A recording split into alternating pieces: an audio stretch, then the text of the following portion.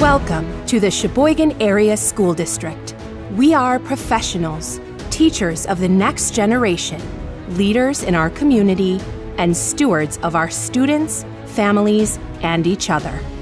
We are a safe place to learn and work, connect with others, get help, grow, and find your place in the world. We are opportunity. We are choice. We are diverse, inclusive, and welcoming. Together, we make a difference.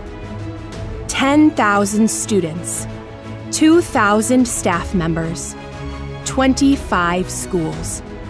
We are the Sheboygan Area School District. Join us.